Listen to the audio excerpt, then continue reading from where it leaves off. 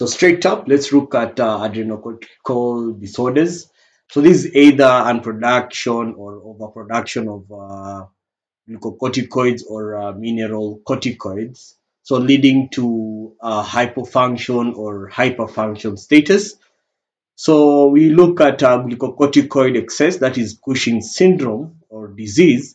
So this arises from uh, adrenal, from pituitary adenoma production of excessive amounts of uh, adrenocorticotropic hormone, so which results in excess cortisol production.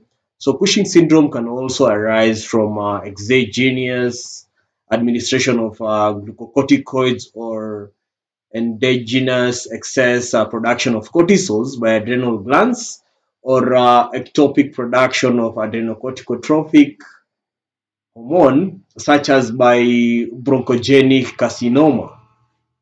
So what are the clinical features? So here the patient is going to present with weight low, weight gain, moon face, hypertension, skin chatter, hirsutism, acne, easy uh, bruisability, hyperpigmentation, glucose intolerance, uh, plethora, uh, proximal muscle weakness, uh, menstrual dysfunction, osteopenia, uh, hyperkalemia, and uh, metabolic alkalosis. So for such a patient, you have to do a urinary-free cortisol levels, uh, plasma cortisol and uh, adrenocorticotropic uh, hormone levels.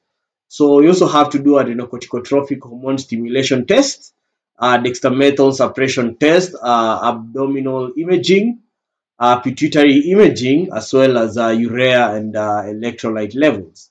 So after doing that, you manage by patient by identifying the pituitary adenoma and institute uh, surgical removal, which is very important.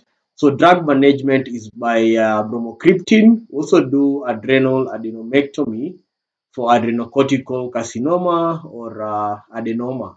We also have to administer chemotherapy for such patients so that you can be able to manage the carcinoma. So for advanced uh, adrenocortical carcinoma, medical ablations are uh, usually the best interventions for such cases. Thank you.